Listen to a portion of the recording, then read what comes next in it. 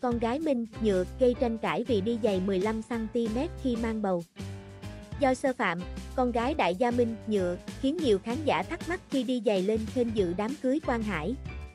Dự đám cưới Quang Hải, Chu Thanh Huyền ở Hà Nội hôm 6 tháng 3, do sơ phạm diện đầm sung giấu bụng bầu. Cô kết hợp cùng đôi giày đế platform để thân hình thêm cao ráo, thanh thoát. Nhờ đôi giày, cục gạch, con gái Minh, nhựa không bị lép vế khi đọ sắc Chu Thanh Huyền hay Doãn Hải Mi.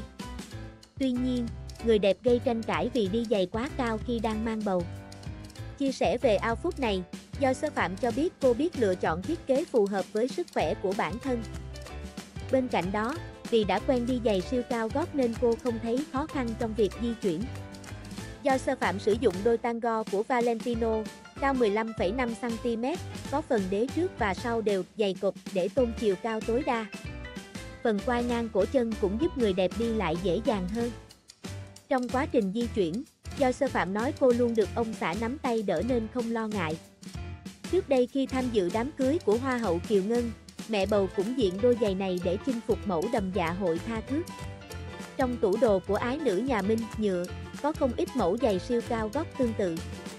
Thời gian mang bầu lần 3 Người đẹp sinh năm 1999 trung thành với các mẫu giày lên kênh khi đi sự kiện. Các kiểu giày gót nhọn cũng được do sơ phạm yêu thích để vẽ ngoài nữ tính, thanh thoát hơn. Mẹ bầu 25 tuổi chinh phục nhiều phong cách táo bạo khi mang thai. Cô không bó buộc trong những quy tắc ăn mặc nhất định mà thể hiện cá tính qua nhiều kiểu đồ gây chú ý. Các bạn hãy đăng ký kênh để cập nhật thông tin miễn phí mới nhất.